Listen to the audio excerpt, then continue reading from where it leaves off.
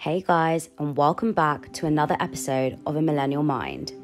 This week, I'm so excited to introduce you all to Dr. Kishan Bodalia, also known as DJ Bodalia, who became known during the pandemic for his NHS sessions, where he streamed a live DJ set from his kitchen after his shifts on a COVID ward. He is one of the nicest and most humble guys I've ever met, and I'm so excited for you all to listen to this episode. So let's get started. So Bodalia or Kishan, I want to apologise for calling you Bodalia and not Kishan. Like in all the emails, I was like, "Hey Bodalia, how are you, Bodalia?" And then I literally listened to a podcast and it was like, "Dr. Kishan Bodalia." And I was like, "Oh my god, that must be so annoying." But thank you so much for coming here and for coming on a Saturday. Um, Yeah. It's a huge commitment, and I really appreciate you coming here. And I'm so excited to talk about your journey. So tell me, you're a doctor Yeah, I am. and you're also a DJ. What made you start DJing? Like, why did you begin? Well, I've been into music all my life, ever since I was a child. Growing up, I listened to jazz CDs. My dad always played that when I wanted to go to sleep, just to make me feel more relaxed. And then that inspired me to play the saxophone myself. Oh wow. But I was too small to play the saxophone when I wanted to actually play it, so I had to play the fife, which is like the small little flute thing, which is really annoying. Um, and then the clarinet, so I got, got to a high grade in that. And I played another saxophone, which is like a soprano saxophone, like a golden clarinet. And then finally, when I was about 16, 17 and big enough, I played the tenor saxophone, which is like the really nice, deep sounding sax that you hear in a lot of music. Um, so that's what got me into music. And then dance music is when I went to university, Right. went clubbing. But to be honest, I wasn't like a massive clubber or like a raver. I never have been. But I just Right. love the fact that there was someone on stage applying what they'd learned in music and performing and entertaining people. Mm. And I translated what I'd learned at school and in music, my lessons and theory, into like a new new passion, new project. So that was the starting point for me. And I just developed and developed, won global contests, Radio One, signed record deals, been on tours. It's just it's just snowballed over over a few years. Yeah, it's been mad. So how did you apply for your first global contest? Was that like was that the first stepping stone? Do you think that made you think I definitely want to take this seriously? Or what was that kind of first move? I think the first move was when I was in my second year of medical school and I needed something outside of medicine to focus on and I couldn't figure out what it was. Mm. But I've always loved music and I thought to myself, if something appears now, I'm just going to go straight into it. And it happened at that point in time, there were two final year business students who set up this student record label Right. to build experience so they could get jobs in the music industry. Mm-hmm. Now, one of the girls who founded it has a job at uh, Ministry of Sound. Before that, she worked at Warner, so it worked. And when I was part of that team, they made me head of marketing. I got, got us on like BBC Radio, um, collaborated with Spotify and O2 on events, got an award from the Prime Minister, which is crazy. Oh all in the space of six months. And alongside that, I was building networks and skills and understanding how to market myself as an artist. So I thought, let's put myself out there as a DJ.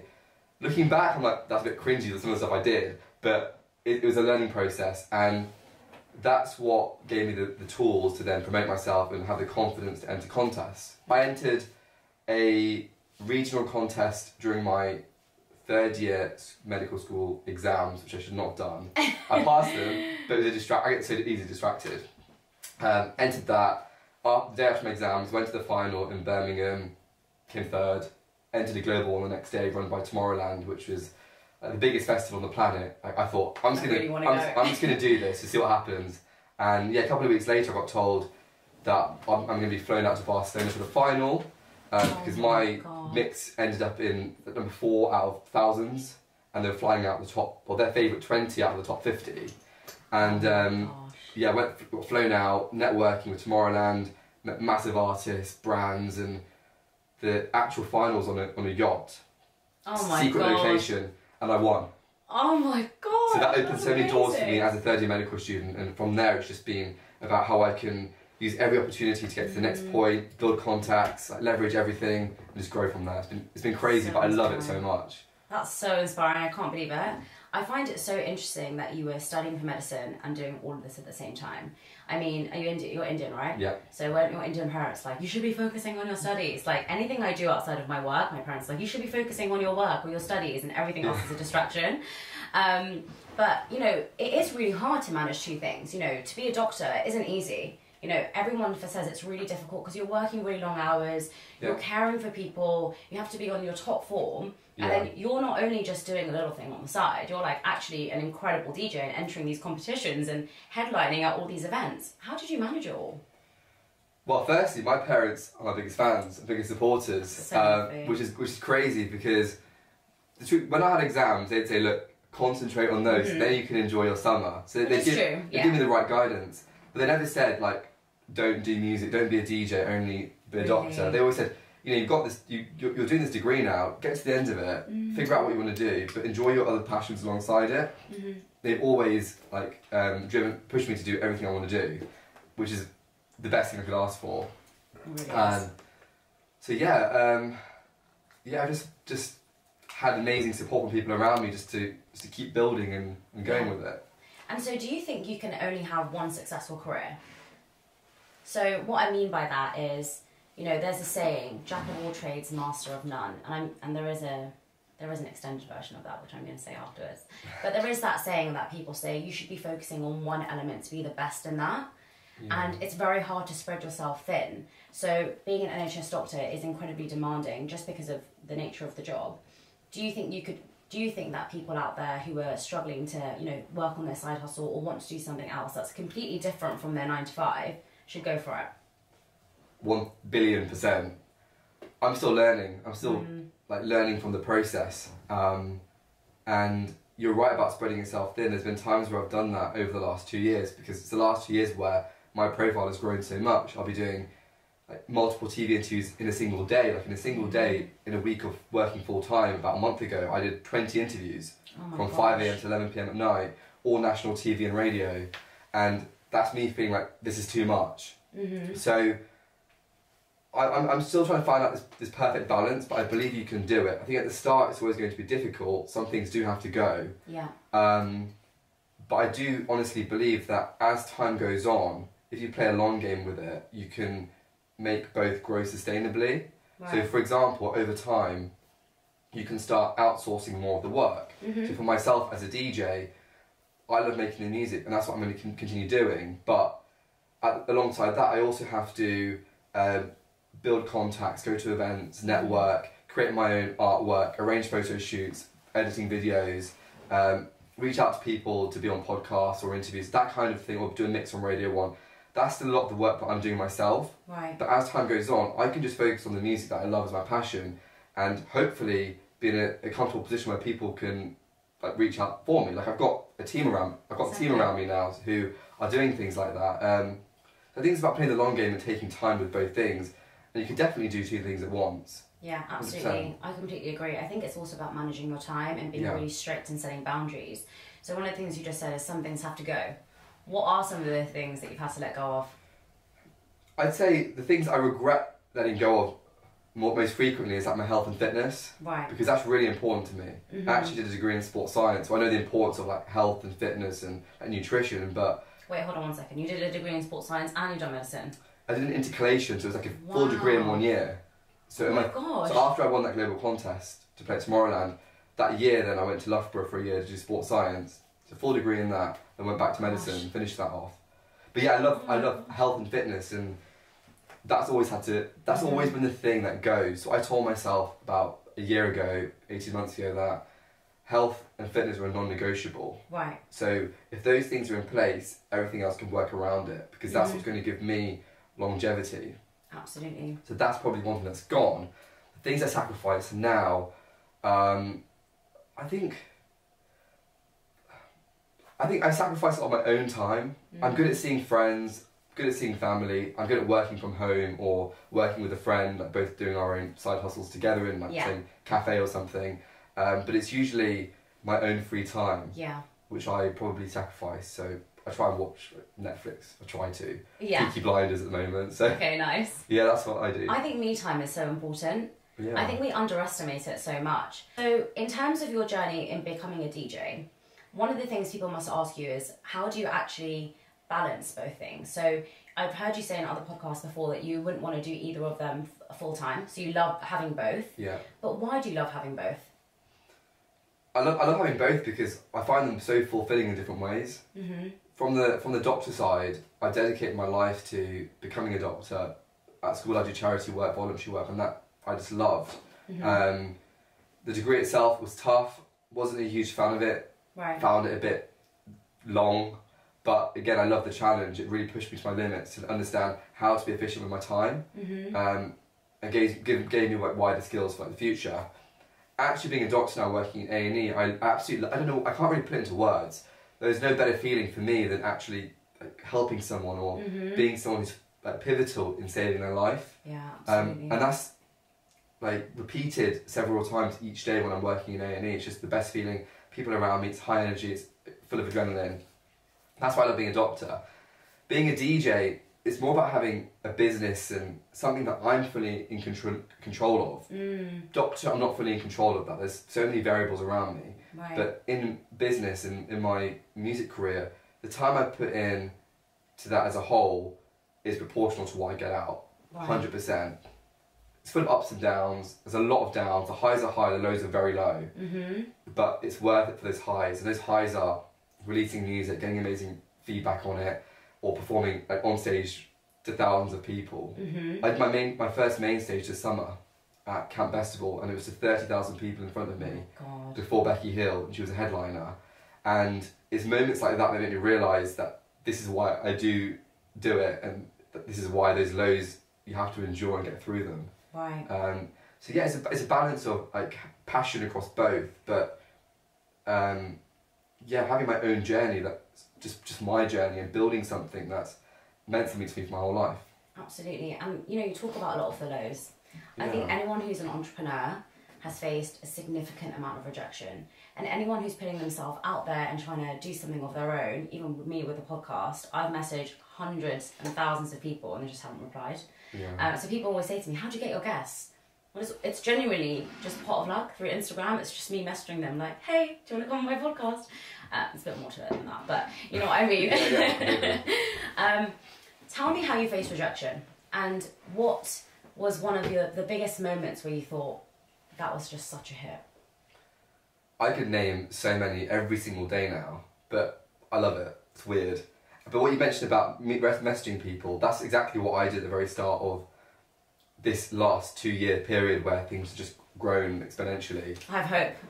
100%. I one of my friends said to me, "Don't type a message to influencers or like famous people to get them to reply to you and get get, get them on there. Send them a video message or Okay. voice note them." And I thought this is a bit strange. This feels really foreign to me. Right. And I remember doing. I did these DJ sets in my scrubs at the start of lockdown. I saw. Yeah, So and, and that and that's what really took off. But it took off because I got it in front of as many people as I could. Right. Like I voice noted as many celebrities as I possibly could, as many influencers. I made lists of them. I emailed their managers. Um, I video messaged them. Video message like every single meme page. Out of like Really? every like, about fifty meme pages I video message. Probably two got back to me, but it, it was two that added so much. really? One of them was the um, world record egg that was out there Oh, to yeah? beat like Kim Kardashian. They replied, they're like, if record us a video, we'll post it on our story. no way. And You what just- did you what did you message them in a video message? I just said to them like, um, Asking for a friend. yeah, I was just, I was just like briefly telling them who I am, what I'm doing, um, like why what I'm doing would be great for their audience, Mm-hmm. um, and, I, and I just, I just kept it so simple. I remember it was just simple. Um, I think adding value is key. Yeah. Them understanding how you connect with, with their audience. Mm. So with that particular one, their um, their brand is about this egg and it represents mental health, and the egg can break, and that's like a your mental health breaking down. So there was this connection between that and me being a doctor and COVID and lockdown and people's mental health. So that was like a way of my bringing my music into their brand to help people's mental health. Wow. So It's amazing. create that connection. Just a numbers game. There are other brands that I was probably more suited to. but They didn't Mhm. see it. But if you message enough people, someone will reply. I agree. Um, but equally, people will say no, and that's rejection. But that's that is what it is. About the worst feelings of rejection I've had, I would say where I've learnt the most is when I was probably a year or two after the Tomorrowland experience. I released a couple of songs. I'd already had one released globally on Sony Ministry of Sound. Mm-hmm.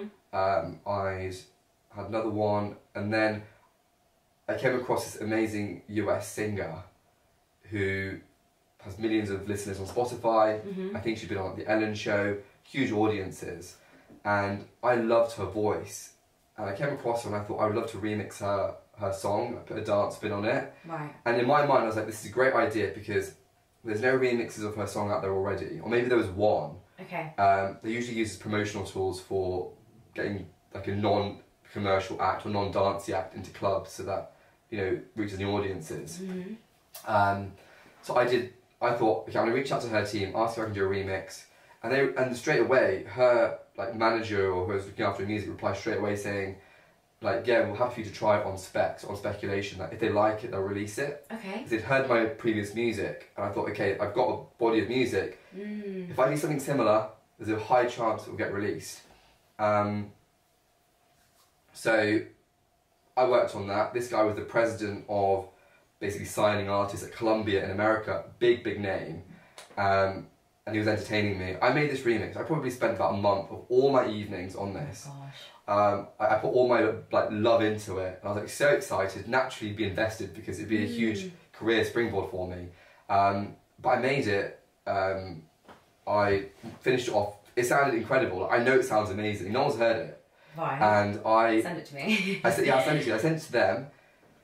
Didn't reply, didn't reply, chased them. I had a manager, another manager at the time, and they nudged him. And then they just replied saying, it's not, it's, um, it's just something vague, like, it doesn't kind of fit the direction they're going in. But, Okay. but it makes you question, like, why did you say yes when you know what direction I'm going in already? mm. So I thought, okay, I'm going to try one more. I'm not going to ask them for their permission to do it, I'm just going to do it. Complete different type. Again, they said, it's not the right time for us. And that's making you think, right, I've done Everything I can. everything I can. It sounds brilliant. I've ticked all the boxes you did, we kind of agreed on at the beginning. And now you're saying no for various odd reasons. Mhm. Um, I'd say that's happened more times now since, but sometimes they say yes, and sometimes it does fit with their plan. And actually, they were giving me an opportunity. Um, it might have fit if they really loved it, if it fit with their vision, it Mhm. might have released it. But something didn't align for me at that point in time, and that that really hurt. Made me real, feel really sad and like heartbroken. Mhm. Um, and whenever that happens, it it makes you feel like really down. But I think that's just part of the process. What what I've learned from that is you have to. It gives you an opportunity to learn what the market wants, and refocus your efforts in improving your craft in certain areas. It might not be that your music's bad. You might just have to understand what the American market want Exactly. and what they want, and sometimes you might do that, but it's just not for them. And it's so important to not take things personally. And I try and now look at like the smallest positive thing in something. So in that, I guess you could look at it and say, well, at least they replied to me and they were interested in me, Yeah. right? I messaged the uh, CEO of Netflix the other day. Not Oh, Netflix. wow. It was this. I think it was the co-founder of Netflix. And um, about three months ago, and he DM'd me back yesterday, and he said, "I'm a bit busy, but He replied. he replied, and he said, I'm a bit busy, but uh, you can try if you want." Try and what? I thought, as you can try with my PR person if you want. He goes, probably not. I'm a bit busy, but you can try if you want. He got back to you. And I thought, he got back to me. Yeah. Like I can try. So instead of looking at that, and I didn't, I just didn't take it personally. I just thought, oh, that's so nice because there's so many people I've messaged, and then it's just like red, and I'm just like, okay. And, I and that degree of honesty is so nice as well. It's like, look, I would So potentially be interested in, in that. Yeah, but I'm busy. So like Yeah. you can try work out work out a date if you want with like my agent or my PR person. But yeah, I just think looking for the positive in everything and not taking things personally because sometimes it just isn't about you. Like in that situation, it wasn't about you. You're an Mm. incredible DJ, but that mix just didn't align with what they were doing. And to Yeah. not take it so personally is so easy on reflection, and I know that. But at that time, it's really difficult. So how Mm. do you, in that time, think? You know, how do you push yourself to keep trying? Because I think one of the things I've noticed in lockdown, so many people started a new business. Yeah. And as lockdown has come to an end, what I'm noticing is loads of those businesses don't exist anymore. Mm-hmm. And I think that's because, like we've said, your journey as an entrepreneur is really up and down. Yeah. And during those downs, it's really hard to get back up again. Yeah. So, what are some of your tips on how to keep persevering and pushing through? I think you need to have a, a plan of action always written down Mm-hmm. uh, and a list of things you're, you're working through. Um, it's easy to put all your attention into one thing. You, with the resources you have, that might be all you can do. Yeah. But you always need to think, what other areas do I need to focus on within that within that industry to get to that same endpoint? Um, I think if you can write down your, your map, your roadmap, journaling. That's what I do a lot of. You can say how many from A to B, um, break it down into smaller steps, Mm-hmm. and find your way there. And if you hit a roadblock, you find another way around to get to the same point. There's, there's, especially in creative industries, there's a billion ways to get the same end result. Absolutely. Um, you don't have to go through that same channel. So that guy rejected me, Mhm. and it made me feel sad. But I went to another label, another artist, and they said yes. And then the artist told me he didn't like the remix for Mhm. some strange reason. The record label loved it. Right. So they released it. So you know, it's just a combination of things aligning for you. Just keep persevering. It really is a numbers game. right. So keep keep just like trying the numbers um, and realizing that, as you say, it's not personal. It's just these mar- markets are so saturated that you have to keep keep going. Just keep you know Mhm. pushing, and you you will open doors as you go along. And there's just so many ways to get to a conclusion. You know, I heard this saying once, and it was like five plus five is ten, so it's Yeah. eight plus two, so it's fifteen minus five. And Exactly. there's just endless possibilities, and every single one of those is a fact. So, yeah. and every single one comes to the same answer.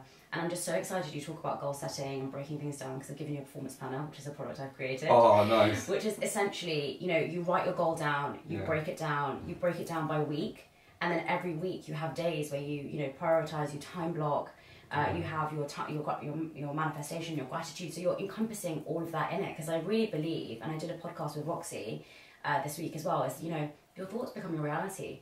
So Yeah. every day you write your tasks down, and then you write down some affirmations. Yeah. And you're telling yourself these things about yourself. They will come true. you They know? will.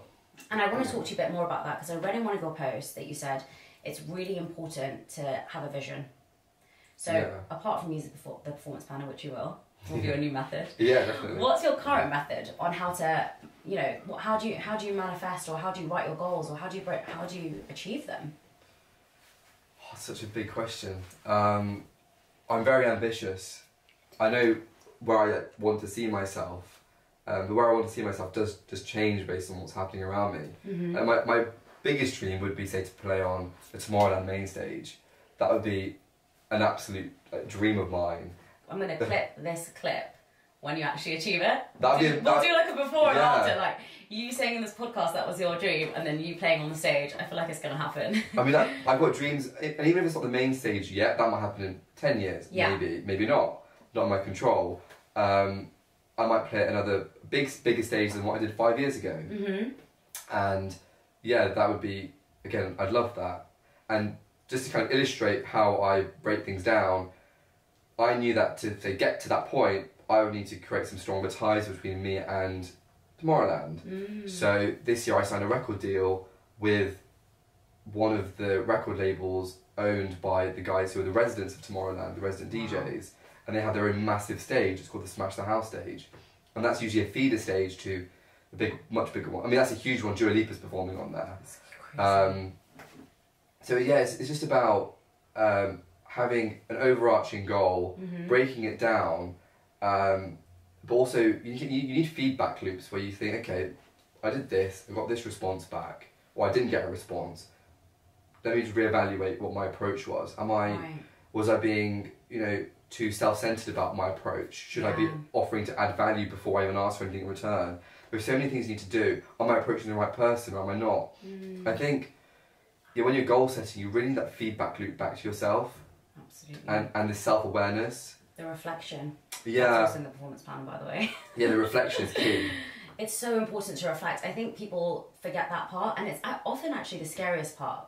So the prompts I have in there, and I think I'm now used to them, is what did you do well today or enjoy, Yeah, and what didn't you do so well.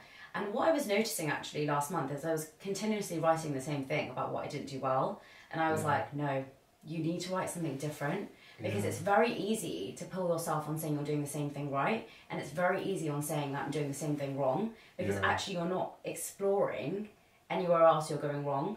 Because it's Yeah. scary. It's scary to think like, was I a bit too selfish, or did I come across in the right way, or yeah, perhaps could I have been nicer, or whatever it is.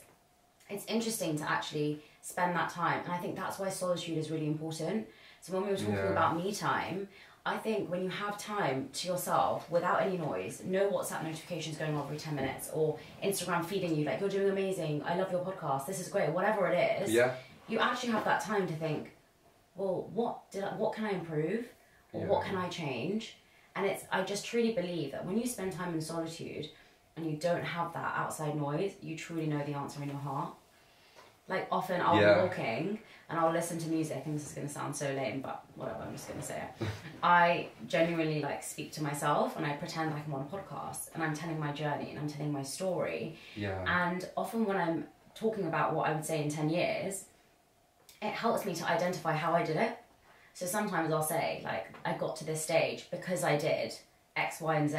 So then I know, well, actually, that's what I need to do. yeah. And it's interesting to say, okay, in 10 years' time, what do I want to achieve?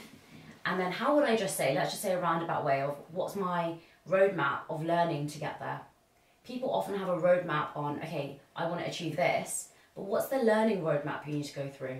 And Yeah. that's really key in understanding those small steps because that's where the fun is actually in the Yeah. learning of it. Like the other day on um, when I was editing my podcast, I learned how to zoom in, and I know that sounds so ridiculous. I've been trying to zoom in on the podcast for like two years, and I was like, oh my god, I did it! And it's only because I pressed enter, I like cropped the frame, I pressed enter, and I was like, oh my god, I finally learned how to do it. And I was so happy about myself. I was just like, this is the best thing ever. But it's those small moments that make you feel really happy. It's actually not about the big moments. No. It's an accumulation. Small wins. Small wins. It's like that, that end goal, that's why that main stage is a nice end goal. If it doesn't happen, I'm okay with that. Right. But it's the journey of, you know, getting to that point. It might be that in 10 years I don't want that, I want something else. Exactly. But it's, you know, it's that journey and that hustle and these small small wins that you get. Um, And things change all the time. Started the podcast, I didn't I didn't know I would be here. I, I didn't know I would launch you know, coaching on site. I then didn't know I would launch the performance planner. yeah. I didn't know that any of this stuff would happen. It just happened so organically because as you say, things change. You don't have to have it all mapped out, but you have to have some sort of plan. Some things may come in between that and that's great. And some Yeah. things may drop and that's also okay. But one of the things I really wanted to talk to you about, and I think a lot of people struggle with this when they launch something, and it's so visible on social media, is how do you deal with negativity? And do you face any negativity?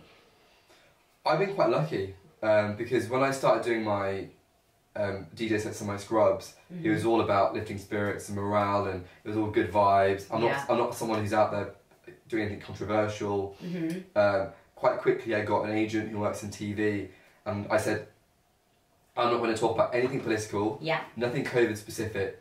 I'm going to go on TV to talk about my music and why I'm doing what I'm doing. Right. And if, as a result of that, they want to ask about my experiences, I'll share that, which will be nothing political. Right. Um, so, luckily, I got a lot of like, really positive feedback, and naturally, you get some random trolls. But I'm very Yeah. like, who are these people? Just, just be quiet. Like I don't, Yeah, I just don't care. I don't engage with them at all. Um, but I've been quite lucky because I don't see that many, and I've compared mine to like other friends who are doctors, and they get they can get ridiculous numbers of trolls, threatening Mhm. messages, and it's really really harmful and horrible.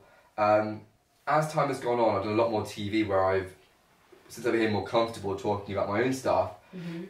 I've now done government campaigns, NHS campaigns for the Department of Health, UN, Sport England, which are much more like they have a political messaging behind them, or like I'm talking about rules and why things are happening. Right. But obviously, everyone associates that with the government and things that they don't necessarily agree with all the time. So whenever I do anything, I have to understand what is the evidence for that messaging that I'm delivering. So I'm confident in what I'm what I'm saying. Mm-hmm. And then if there's people on Twitter who are trolling me or reporting me to the GMC, or I've been reported so many times to my employers, Really? by, for example, by anti-vaxxers.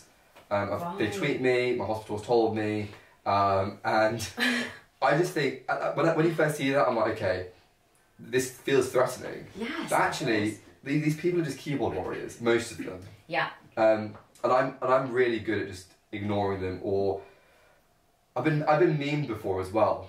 Was that I was turning to a Really? meme, yeah, this about a year ago. Okay. I was on like Archbishop of Banterbury, British memes. Oh my god, I follow all those pages. Yeah. What, what was it? Oh, and I don't want to go into it. It's a bit embarrassing for me. Um, I won't put it up. Let's just cut that. I got, but I got, I got memes, and it was actually it wasn't embarrassing for me. It was just a weird experience because all of a sudden I was on these big pages, all these celebrities are commenting, and some Mhm. people were like, "Who does this guy think, think he is?" And um, I wasn't doing anything wrong. Basically, I was in my I did a TV interview, Mhm. and someone took a photo of the TV screen, hmm and I was in a kitchen wearing my scrubs, which I normally do with my for Yeah. my interviews anyway or for my DJ sets. Mm-hmm. Um, and for that particular broadcaster, they said, "Can you weigh a stethoscope?" So I wore my stethoscope, thinking, "Okay, this can look like it's NHS Yeah. kitchen. It could be in any kitchen in any hospital anywhere in the world." Of course. But someone was captioned it on Twitter saying, like, "Why is this guy wearing a stethoscope in his kitchen?" oh, oh no, this is gonna blow up. What's wrong with that?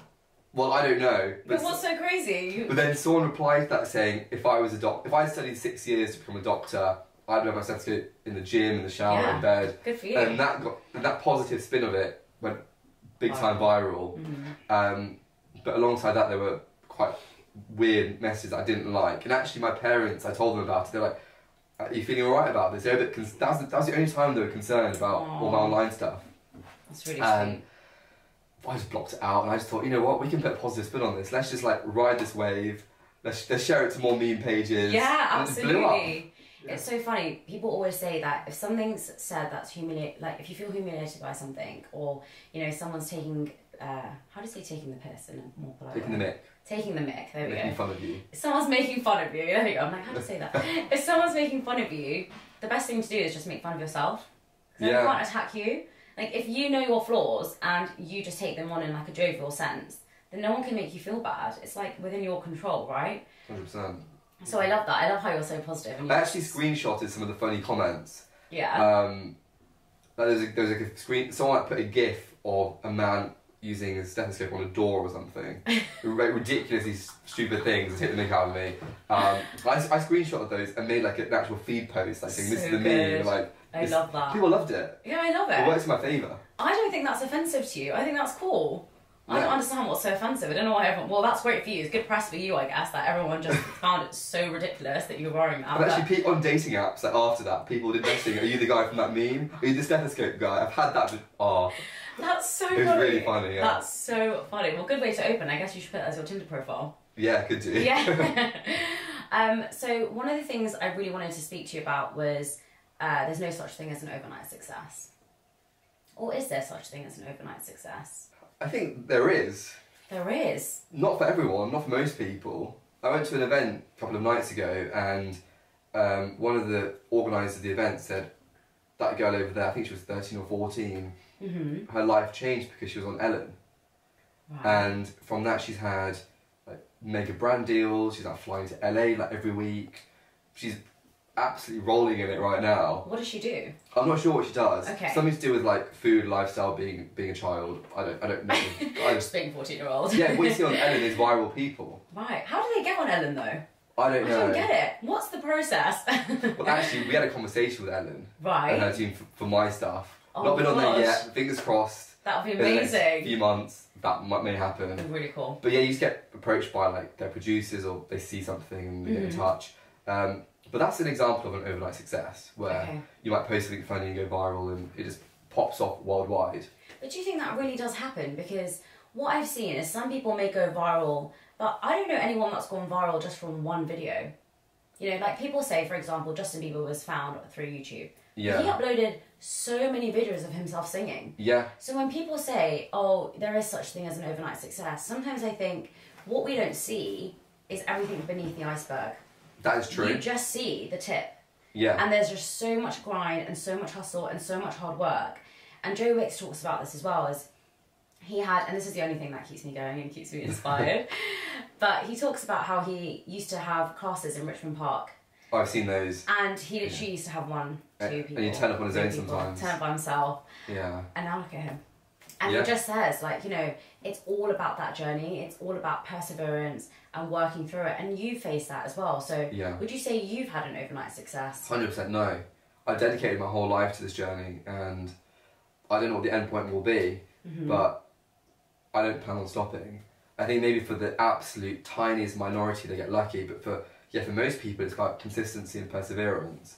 And I think if you can be consistent in something you're passionate about, and learn, reflect, navigate the, the crazy worlds that you're trying, the industries you're in, then Mhm. you know you you will you will grow. It's Absolutely. about growth over a long period. Don't rely on happening like tomorrow or next week. Small steps, enjoy them, and yeah, over time you will get there. And don't focus too much on the metrics as well. I think it's so easy to get lost in them. I've Yeah. often got lost in them, and I thought so many times, you know, well, I don't want to continue anymore because I'm not, I'm not getting anywhere. But that's how it feels. A really good example is when I started posting my DJ sets and my scrubs. Mm-hmm. Um, I would get on some videos I'd get like hundred views, Okay. and I, I had a few thousand followers there, not many, from my Yeah. previous DJ stuff, and yeah, I might get I don't know twenty likes, and I was like, this is a really good video. No one, no one actually cares, and I'd be doing it for two weeks. I thought, okay, Wayne Lineker put me on his profile. I got a few followers, and Okay. he shouted me out. That's cool. Yeah.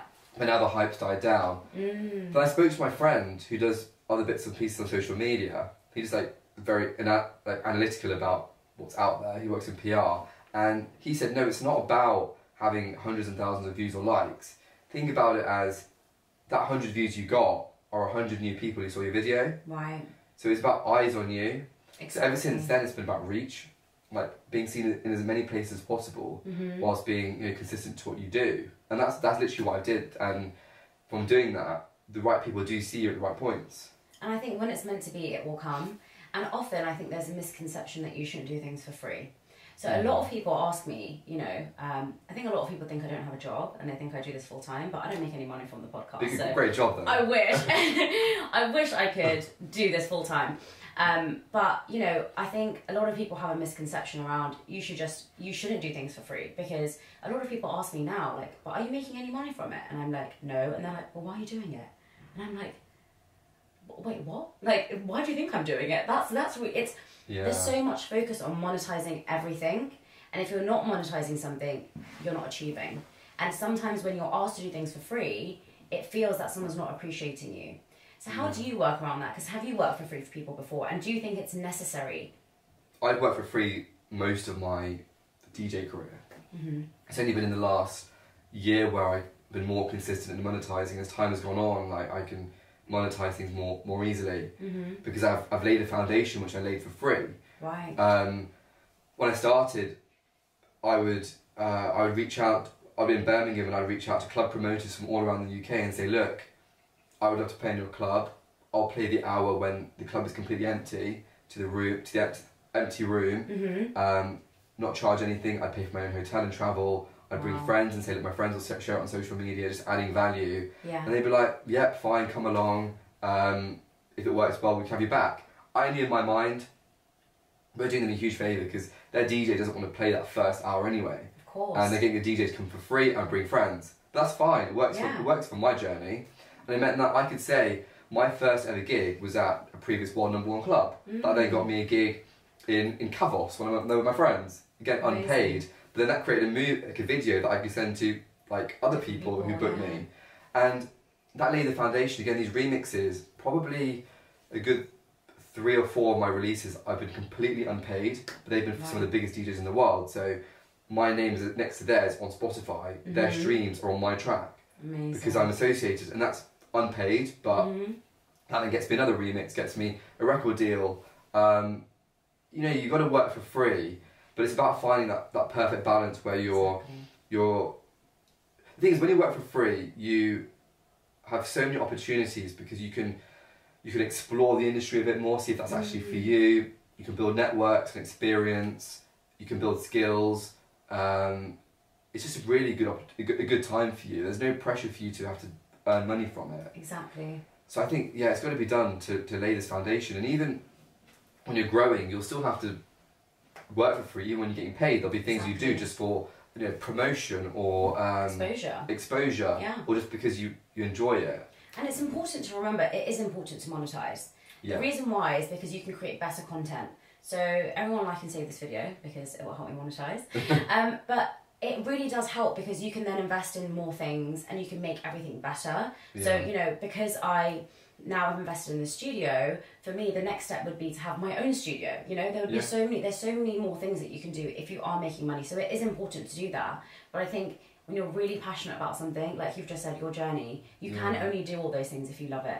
You can only really like message all these clubs, play Yeah. for free because you enjoy playing in a club.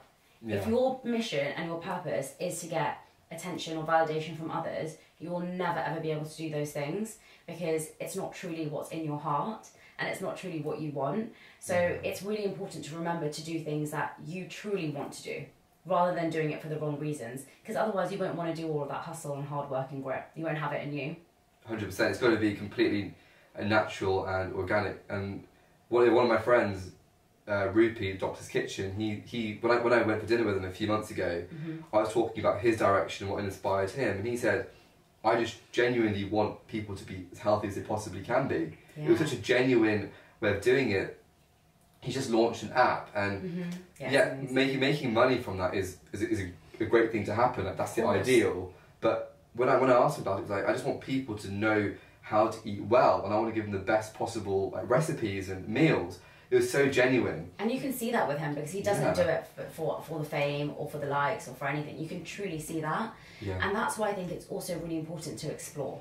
So Yeah. try whatever it is, and what we mentioned before is you know you have that phrase, um, "jack of all trades, master of none," but actually it's oftentimes better than a master of one. So oftentimes better than a master of one just shows you that you don't have to be, you know, a specialist all the time in that one field. So for you, you can be an incredible doctor Yeah. and be an incredible DJ and also have a focus on health and fitness or Yeah. some other things that you love to do. It doesn't necessarily mean you have to have one direction in life and I often think that that's sometimes promoted now is that you can't focus on too many things. You know, you can't Yeah. have so many different businesses, but actually you can because you don't have to like you said the more and more you develop, you can hire other people to do those things for you. Yeah. So what you're truly passionate about, you'll you'll start by exploring, and then the things that you actually love, you'll grow a team around you to help you. Yeah. And I think that's really important as well. So Mm-hmm. before we close today, because I've loved having you on, what's one of your biggest pieces of advice you'd give to someone starting something new? I think um, you miss 100% of the shots you don't take. So the first thing is, if you have an idea and a concept, just just start. Mm-hmm. Um, because if you don't, you'll, you'll regret it. Um, and when you have started, just put yourself out there. Mm-hmm. Speak to people, network, reach out to people, phone people, just be seen. Yeah. Um, and if, because if you don't, you'll never know if they would ever come on your podcast or you know sign you to their record label. You just don't know. Be persistent with that, um, Mhm. and hopefully one of those shots will pay off. Absolutely. That's probably my Not- biggest. Not having, not being scared is so important. There's so Yeah. many times that I've messaged. I'm not even going to say who I've messaged. I've messaged some crazy people, and I've just thought I can't message them. It's just like too embarrassing. And I'm like, do you know what? Why not? Because if somebody looks at a message and thinks this girl, this random girl, wants to message me to be on her podcast, what are they going to say about me? That I'm Yeah. working hard, that I'm trying. Yeah, Like, what's the worst? that and they might just be busy, and that's why they're not replied. And You like don't the worst someone's going to think of you is you're trying. No one's going to Yeah. think you're an idiot. And if they think that oh I'm too good for you, then that's their ego and you don't want them. No, just yeah, So like they're not doing it for the right reasons because they're Mhm. going to think well I'm too good to come on to your podcast or I'm too good to play your DJ set or I'm too good to share your content. So Yeah. actually those people you filter out. And the genuine nice people, you that if they're too busy, you just got to take it as at least they recognise me, at least they replied, and Yeah. if they do reply, then at least you tried. You know, like you went for it. and you never know. The Netflix guy might, might say no to you now, Yeah, but or, or be busy now, but he you're in his DMs now. exactly. You could in about five years you might have five million followers, and actually he wants to be on a podcast He'll and he remembers you. could, ha- could happen that way around. you never know. But thank you so much for coming. I Thank having appreciate it so much, and I'm so grateful you came on here to share your journey. And I'm sure you're going to be playing at Tomorrowland, and I'm going to be there in the audience. Yeah, come. Um, well, actually, we'll have to invite you backstage, but then. but yeah, thank you so much. Thank you. Hey everyone, and thank you so much for listening to this podcast. Wherever you're listening or watching, if you could press the like, follow, and subscribe button, it would mean the world to me.